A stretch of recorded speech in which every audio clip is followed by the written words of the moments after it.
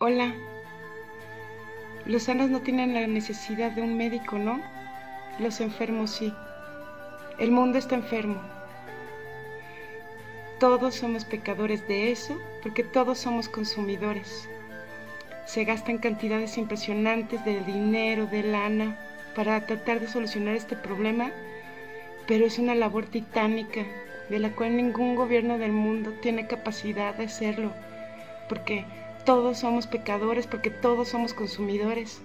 Lo que hace falta es que nos organicemos entre nosotros para sacar esto adelante.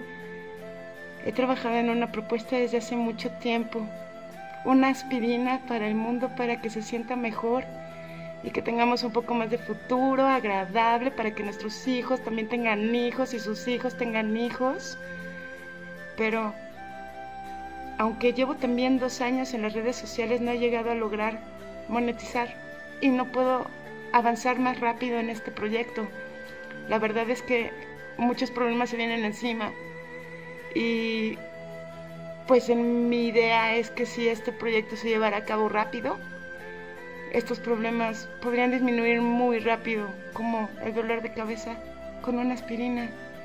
La vida siempre busca estar viva si ayudamos al planeta todos juntos, se va a recuperar rápido y muchos problemas van a hacerse más lentos y podremos ah, buscar mejores soluciones con más tiempo para ellos.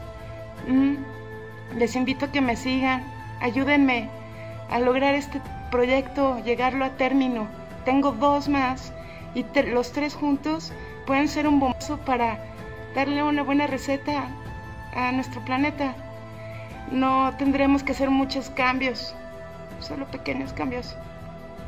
Espero que me sigan, necesito que me sigan, necesito sus comentarios, sus likes.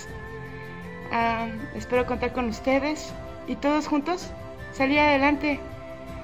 Feliz Día del Amor y la Amistad. Espero que este sea un regalo verdadero que nos llegue a todos para poder seguir amándonos en un futuro. Saludos.